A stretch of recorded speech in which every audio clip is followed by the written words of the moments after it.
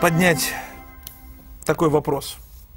Вопрос, вопрос э, э, серьезный. Скорбь, боль, страдания, э, болезни, трудности. Мы, конечно, все верим, что Бог хочет исцелить всех людей, а, и есть такое полярное мнение, что любая болезнь это сатана, бедность это бездуховность а, или что-то типа этого. А, боль, страдание это значит ты не в правильной позиции перед Богом. Если ты веришь, все будет хорошо и шоколад. Будет весело. Эльдорадо. Эльдорадо. Всегда, всегда, всегда веселитесь, всегда радуйтесь, все будет хорошо. Вот э, скорби, боли, страдания. а, Хочет ли Бог, чтобы мы страдали, или не хочет, чтобы Бог, чтобы мы страдали? И бывают ли сегодня страдания у людей? И когда человек страдает, что нужно сказать? Это дьявол, это Бог, это не поймешь кто? Что скажешь? Ну, это сложная тема, конечно. Много есть разных позиций. Если говорить вообще, Бог не хочет, чтобы мы страдали. Но, смотря из той позиции, где мы сейчас находимся, на этой земле, страдание есть неотъемлемая часть нашего духовного роста и развития. Если люди сознательно избегают страданий, они не смогут расти и не смогут развиваться. Второе. Если есть какой-то ребенок, и у него есть какие-то задатки спортсмена, и его увидел тренер, и он сказал, я сделаю из тебя чемпиона. И он бегает по стадиону уже десятый круг, двадцатый круг, а другие сидят на трибунах и жрут шоколад. Он может сказать, почему они жрут шоколад А и я сидят, страдаю». а я здесь страдаю, пот идет. Потому что у тебя призвание стать чемпионом. Понимаете? И Бог делает из нас чемпионом. И мы бегаем круги. И мы должны понимать смысл своего страдания. Страдание, которое неосознанно, оно не приносит плодов. Но когда я понимаю, что я наматываю эти круги, я отказываю себе в шоколаде, я отказываю еще себе в чем-то, я бегу, у меня болят мышцы, но я все равно бегу, потому что я буду чемпионом. И эти страдания осмыслены, они Хорошо, а имеют страдание как результат. болезни. Хорошо, я понимаю. Да. Но другое как болезни. Болезни, страдания. вот болезни. Э, Смотрите, в Слове Божьем написано, что тот, кто страдает плотью, он перестает грешить. Телом? Ну, плотью, плотью, да. такое плоть? плотью. Ну, Плотью тоже понятие, понятие растяжимое. Ну, в твоем понятии, ты сейчас поднял это местописание. Страдающий плотью. Страдающий плотью, да. В смысле, это- вот у тебя селезенка болит или печень, вот все ты перестаешь грешить. Можно больше грешить, когда страдаешь. Наоборот, ты наоборот хочется... Да. Дело в том, что э, я думаю, что ну, на самом деле здесь должен быть также баланс, да, вот в этом откровении. Э, болезнь э, это как бы хорошо или плохо. Павел говорит э, в послании, говорит, я трижды просил Господа, чтобы он избавил меня от этого жала во плоти. Но, говорит, ангел сатаны вот меня просто преследовал. Кто-то там- говорят, это болезнь глаз, кто-то говорит, еще там его ноги, Это которые евреи были- его преследовали. Там же потом говорит, что это ходили за ну, мной идеей. неважно, кто там, не духовное или физическое, просто смысл в том, что э, потом он просил, и Господь его не избавил. Почему? Потому что он говорит, для тебя достаточно моей благодати. То есть ты, чтобы не превозносился своими откровениями, потому что он Типа, был если уже... ты такой крутой, Бог тебя как всадит в печать, чтобы, ах, ты получил, вот сейчас тебе на землю опустим. Так что ли? Ну, не совсем так, ну, где-то в каких-то моментах я вижу, что э, как, э, я всегда так придерживаюсь такого принципа, что Бог никогда не допустит в нашей жизни ситуации, в которой бы мы в нем не нуждались.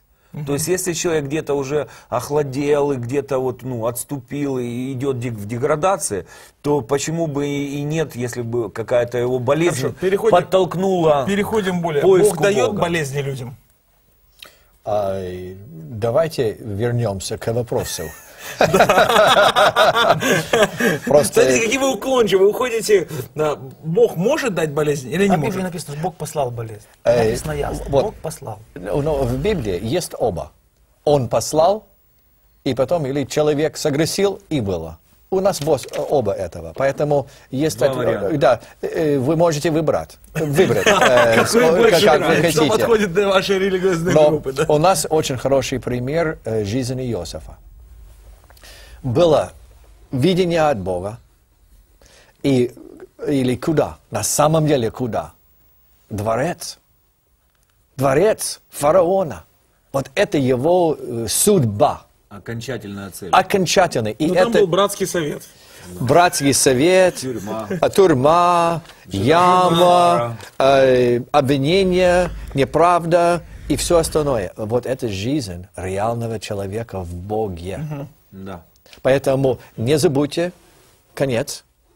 И это конец для каждого верующего. Но какие долины, какие ямы, какие тюрьмы, какие трудности, извините, они тоже будут. Но для славы Бога. Есть Хорошо, цель, а есть средства. Хорошо, говорим за Иова.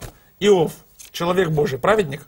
Праведник. Да. А, и- он бы своей праведностью мог, помните, в, про- по пророка сказано, чтобы если бы по своей праведности спасся бы. Иов. Иова была великая праведность, человек Божий. Что происходит? Что за фокусы?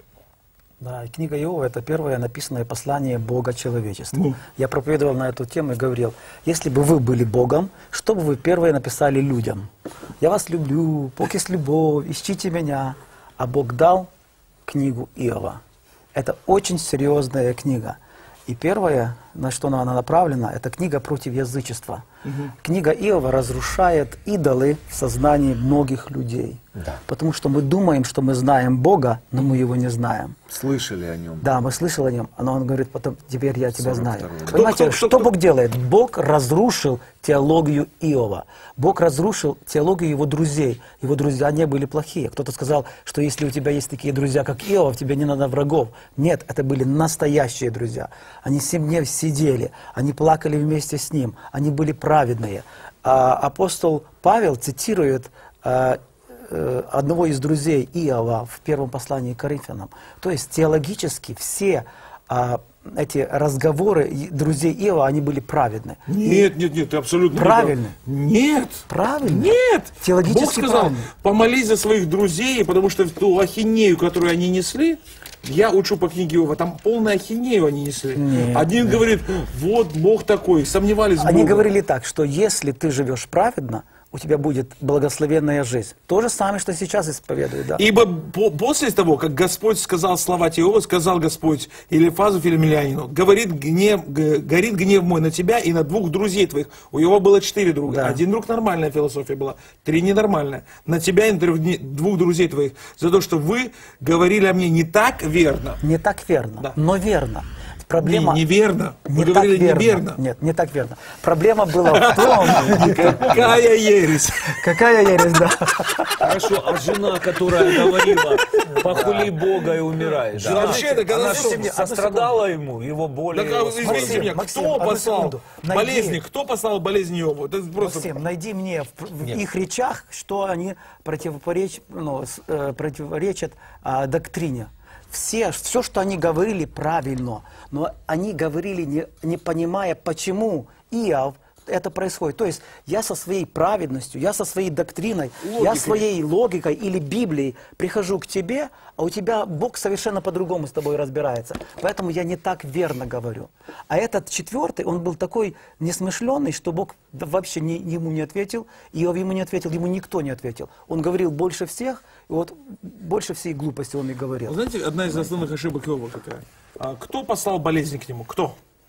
Ну, на- написано. Сатана. Вот написано. Сатана. А что Иов говорит? То, что я боялся, да? Ну а Не, что, не, Бог не, не, допустил? жена ему говорит, там другой. Похули Бога. По- Да, и э, он- она говорит, взял себе черепицу, скоблил, болеет. Жена сказала ему, ты еще твердый в непорочности, похули Бога умри. Он сказал, дурная, что ты говоришь, как безумная. Неужели доброе мы будем принимать от Бога, а злого не будем принимать? Стоп, а злое, кто ему послал зло, Бог или дьявол?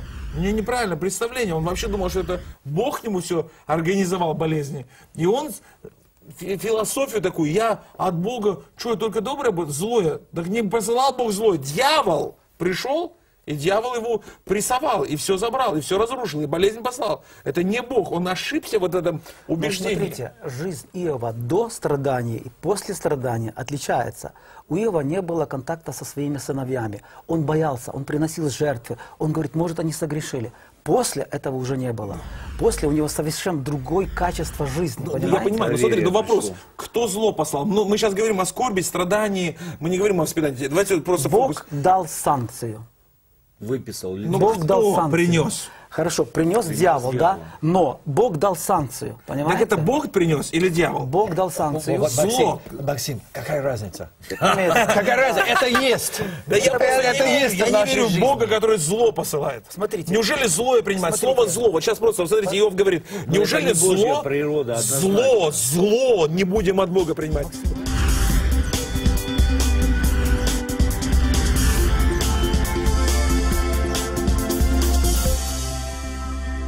Говорит Иаков.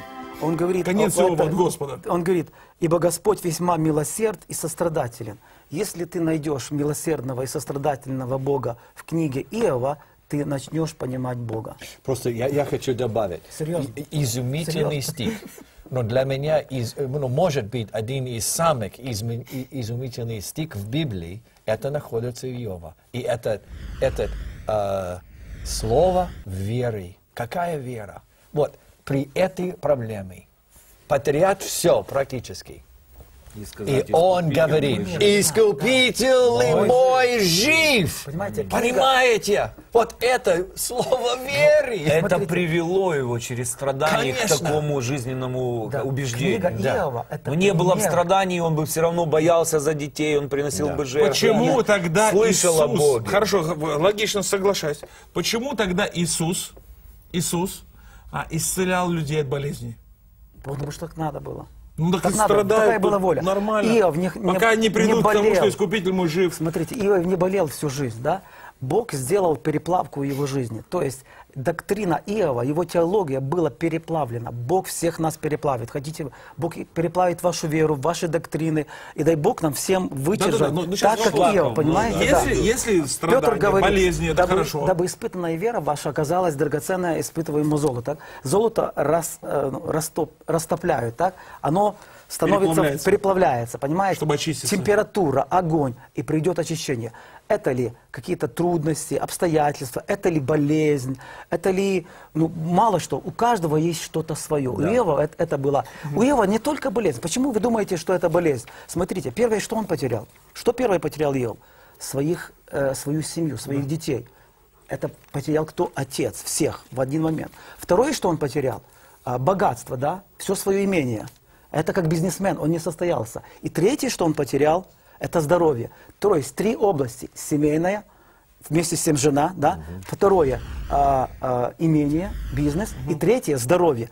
Три сферы, на которые жизнится человеческий имидж и его сила. В один момент все это было забрано. Не только, не только проказа, вы понимаете? Плюс потеря всех друзей, понимаете? То, что прошел Иов, Бог сказал, человечество будет страдать. И я даю вам пример, что страдая, вы должны найти меня, потому что пришел грех. Иова книга, это очень глубокая. То есть он сказал, как можно страдать, дал нам пример, и вместе с тем не потерять веру в Бога. И это прообраз для всех нас, это Очень хорошая пример мысль, для да. всех нас. Я думаю, что у нас сейчас происходит подмешка. Когда мы говорим за страдания, все люди страдают. Факт. То есть люди, страдания есть на земном шаре, то есть это присутствует. Мы не можем сказать, нету страданий. Страдания есть. Но с другой стороны, источник страданий, я не буду соглашаться с вами, что источник страданий это Бог. Я думаю, что когда дьявол приходит, давайте называть своими именами, пришел дьявол и все забрал у него. Он был под защитой, да, но Бог убрал защиту, дьявол забрал, не Бог забрал. Иов ошибся, он сказал, будем ли мы зло, только, только добро принимать, а зло не будем. Всякое даяние доброе, всякий дар совершенно не сходит от Отца Света, у которого нет перемен и изменений. Он добрый, он Бог благой Бог. Кто сказал, что то, что произошел Иов, не добро? А когда умирают дети, это зло. В конце это добро. Они не воскресли. А, У него родились новые дети. я Те смотрю, погибли. я смотрю. Ты для жизни больше- Иова, ну, может быть, да, все кончилось для хорошо. благословения нашего. Но когда мы говорим о смерти пример. его детей, у него реальные дети умерли. Смотрите, А, Бог Их смотрит- судьба неизвестна. Бог смотрит на все с позиции вечности. Мы смотрим Мы сейчас смотрим только своего снизу, поколения. и очень хочется снизу все понять. И Не нужно поймем, снизу. не поймем. Да у Ну, меня давай- люди, давай, зрели- мои зрители смотрят, Яков. у них вопросы. Понимаешь, ты говоришь им с позиции вечности, небеса, аллилуйя, там, а люди с земли, как нам здесь тараканам жить, и как нам понимать, если мы понимаем Бога, что Он дает зло, как вообще тогда В вешаться? Украине есть украинские вышиванки, да, э, рушники. Да. Если смотреть э, снизу, там одни крестики, линии какие-то непонятные, да. Никакого узора, визерунку не, вы- не видно, да? Но ты, когда посмотришь с другой стороны, там красивый орнамент. Мы не поймем свою жизнь с этой стороны никогда. Она будет непонятна, в ней будет не То будет никакого проповед- смысла. То есть вы своей Надо проповедуете, ничего не вверх. понятно, и поэтому расслабься и живи. Я говорю так, если ты что-то не понимаешь, все равно ты веришь в Бога. А она ходила и вера. кричила, а Иисус говорит ей, вы собаки. А она говорит, да, мы собаки, но мы крошки будем кушать. Правильно. И она орала и требовала, потому что ей непонятно верховный Я- смысл. Смотрите, я не проповедую фатализм, я проповедую борьбу. Вера – это борьба, это противостояние. Верить в Бога, несмотря ни на какие обстоятельства, это надо иметь силу. Это не фатализм, это не тратьте куми силу, спускайтеся на дно. Да? Нет, это неправильно. Не тратьте силу, не Ну, давай- давай- бороться, Давай ты умираешь. Вот, вот, давай прочитаем вот эти стихи. Тоже. Иаков, раб Бога и Господа Иисуса Христа, 12 коленам, находящимся в рассеянии, радоваться. С великою радостью принимайте, братья мои, когда впадаете в различные различные искушения. Великая радость. Попали. Потому что они понимают, что пройдя через эти жернова, они станут другими. Через жернова. Я вспоминаю один случай, когда один молодой служитель подошел к своему пастору и говорит, пастор, помолитесь, чтобы я был таким же помазанным и успешным, как вы. И он возложил руки и начал перечислять. Пусть столько тебя раз предадут твои ближние, там, болезни, то другое. да, Когда да, он услышал, говорит, нет, нет, спасибо вам за вашу молитву, я буду лучше простым человеком, а не таким служителем известным, Надо как платить цену. Конечно. И вот проблема, кризис сегодняшнего христианства, что им преподнесли э, э, эльдоративное Евангелие, если можно так сказать, что ты при- только стань частью нашей религиозной группы, у тебя весь будет в шоколаде, будет там квартира, машина, и как анекдот про золотую рыбку, это только раз. Квартира, машина, жена красавица, это только раз, еще второй, третий. И, и многие церкви, к сожалению, они не несут полную Евангелие, полноты Евангелия, в котором э, есть какая-то красная ли- ни- линия, цена и страдания, как то, что очищает наше сердце, да, очищает нашу душу и делает нас э, достойными вечности. То есть болезнь очищает нашу душу. Для кого-то Я да. не согласен. Для Я- кого-то да. Я не согласен. Максим, Очищает Максим. нашу душу Слово А я видел Иисуса людей, которые получали эмоции. исцеление и уходили из церкви, потому что уже потребность в Боге перепадала. Есть такое Поэтому дело. здесь нет... Лучше болели бы, да? Вот. Пастор, помолитесь, хочу хорошую работу. Молишься, человека через... Он получил хорошую работу, нету в Божьей семье. Поэтому всегда о воле Божьей надо молиться. давайте очень практически. Максим, ты замолился за кого-то, чтобы получил исцеление от болезни, и не получилось. По- Большинство. Окей. Почему? Потому что я правду говорю. Что, сатана сильнее? А, ну почему э, не исцелились? Я не знаю. Окей. Но мы имеем вот образы или примеры исцеления, и мы тоже имеем не от Иисуса, это правда, но у нас есть герои веры, которые тоже отдалеко видел страну. И вот эта вся Библия написана, чтобы мы жили в, в том царстве. Вот это реальное царство. И здесь все временно, временно, временно. И Бог хочет, чтобы мы поняли, что здесь временно, но я хочу достигать эту душу, и эту душу, и эту душу, и понимать болезни, почему исцеляюсь. И по- по- почему мы не разберемся здесь. Но самое главное, чтобы вера была. Смотрите, братья, что написано в книге Евреям, очень интересно. Другие испытывали поругание и побои, также узы и темницу, были побиваемы камнями, перепиливаем, подвергаемы пыткам, Это умирали от меча, скитались в милотях, козьих кожах, терпя Но недостатки, болезнях скорби и. Нету болезни. Те, которых весь мир не был достоин, Кстати, скитались. ничего про болезнь. Это Все это свидетельство в том, что не получили обещанного. У меня есть убеждение. Бог предусмотрел Люди, нечто лучшее. У меня есть убеждение. Первое убеждение. Иисус никогда не обещал нам болезни и демонов. Он изгонял демонов, бесов. за это умирал. И он искупил ранами Иисуса, мы исцелены. И мы должны тоже сами. Вот теперь второе, что нам обещал Иисус? Гонение. Меня гнали и вас. Единственное страдание, которое Иисус оставил нам наследство, Меня гнали поносить, неправильно засловить, хамить, издеваться, унижать, притеснять, давить, изгонять. Он обещал нам это. Все остальное он забрал, он искупил. Я думаю, что болезнь это проклятие. Ну, моя точка зрения. Это проклятие, как следствие греховной жизни. Когда верующие болеют, я думаю, что необходимо получить свободу от проклятия. И ранами Иисуса он пригвоздил рукописание, как он все проклятие пригвоздил. Вот с этой точки зрения гонения будут, пресс будет, дав, эмоциональное давление будет. Он, он сказал, это будет так, такое случается. Когда же мы говорим о болезнях, я думаю, что все-таки нужно даже Ну, если я ну, молюсь и не исцеляются, я молюсь и не исцеляются. Я. Мы будем молиться. Я буду И молиться до упора. перестанем молиться. вопрос До был- конца мы вопрос будем молиться, потому что Библия пишет. болезнь, да? То есть мы должны различать скорбь и болезнь. Иисус сказал, что многими скорбями нам надлежит войти, Войти в в Царство Не Божие. болезнями. Да? Не болезнями, скорбями. Но если нас преследуют за Христа и нас побили, то у нас будет и болезнь. И, понимаете, гематома или там печень отбили или еще там. Но надо понимать, что такое боль. Боль это хорошо или плохо? Это мегафон Бога. Боль в, организме. В организме. Вау, Как какой Life мегафон. Слушай, у меня другой, у меня другой мегафон пусть будет. Кошелек пускай будет мегафоном. Боль в организме сигнализирует, что где-то начинается какая-то проблема или сбой. Если бы у нас не было чувства боли, мы бы поклали руку на печку, и она бы разгорела, понимаете? То есть, а боль сигнализирует о какой-то проблеме. Это есть индикатор. скорбь это как хорошо. индикатор- индикатор- Нет, я говорю о болезни, да? Теперь, если э, это говорим о, о болезни в теле, значит, что-то мы делаем неправильно. Мы говорим, причина болезни – это грех с большой буквы, да, грехопадение. Потом, Бог сказал, как надо жить. Шесть дней работай, седьмой день отдыхай. Бог сказал, как надо кушать, так? Бог нам сказал, какой у нас должен быть психосоматический состояние, так? И непрощение, обида, горечь, ненависть, гордость и все дела плоти, они разрушают а, человеческий организм. Если человек очень длительное время находится в непрощении, в горечи, то через год, два или три начинают происходить изменения на клеточном уровне. Приходит болезнь, да, да. понимаете? И самое главное, Бог здесь ни при и Бог чем. при чем. Вообще. Хотя Бог Биология, при чем? чисто Хотя биология. все Ударь. А теперь да. ударь, ударь А теперь кулаком смотрите, да, будет. люди, будет. люди приходят в церковь, пастор, помолись. А что у меня? Проблема с желудком. Пастор молится, болезнь не уходит.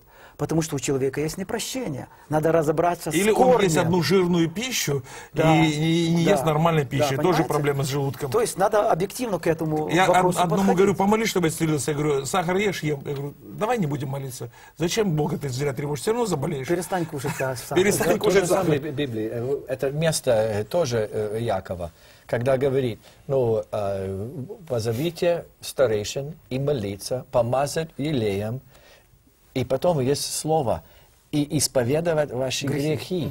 Кто делает это? Недавно был ну, человек, он хотел, э, чтобы Бог дал ему благословение. И потом я спросил, ну, у тебя есть в чем-то исповедоваться? Да, блуд. Опа. Сразу.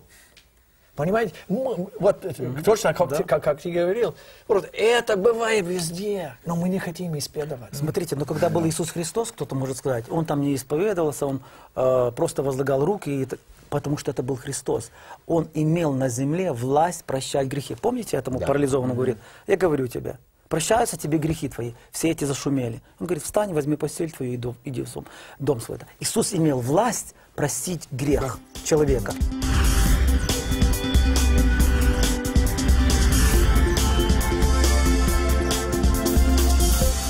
Если у человека грех, за ним ползет букет, и часто страдания не из-за того, что Бог посылает, а из-за Следствие. следствия. И Следствие. если удариться головой об стенку, да, голова будет болеть. Это не проклятие, не дьявол, это глупость. Да. Вот. Есть много, много разных вещей, здесь нету... Хорошо, время подходит к концу. Итак, давайте каждый а, пускай сделает маленькие выводы. А, еще раз учитывайте, мои зрители сейчас смотрят эту передачу, и им хочется их ответы получить. Я понимаю, что вы с перспективы неба, все у вас выглядит идеально. Давайте с земли, кум со дна, там, как выглядит ве- весь мир со дна. С той стороны вышивки, как ты говоришь, с другой стороны, где крестики непонятно, и попытаться понять, как же с той стороны.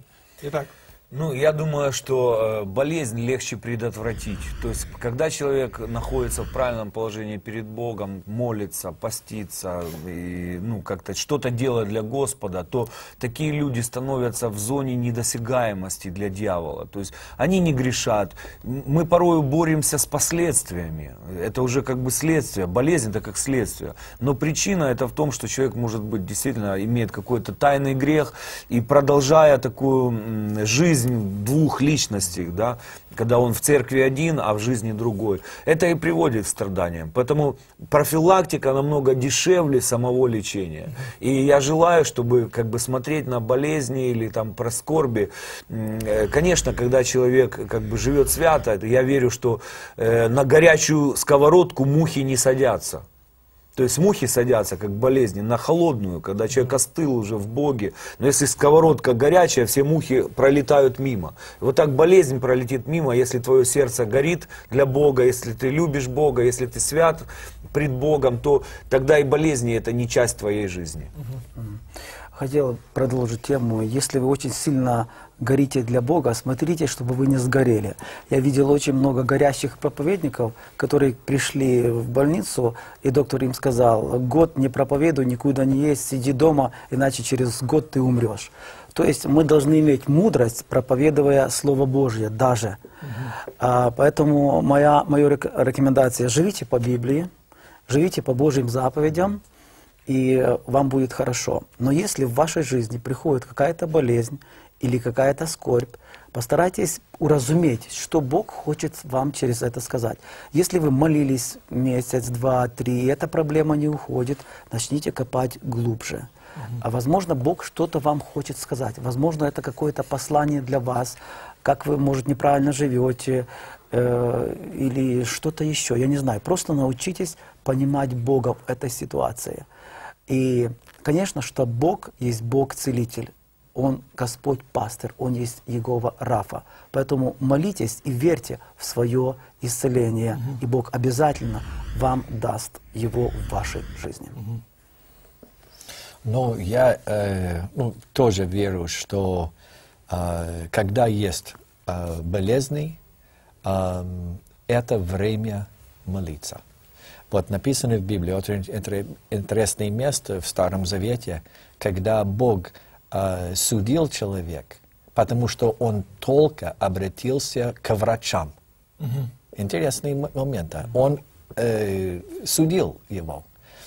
Поэтому, э, как э, Сергей сказал, когда есть проблема, скорби, я расширил немножко, болезни, трагедии, это уже время быть в единстве с Богом. Господь, что ты хочешь говорить мне? Это не как я ожидал. А тоже обратиться к врачам. Не только Богу, потому что иногда мы тоже ошибаемся, когда надо обратиться к врачу.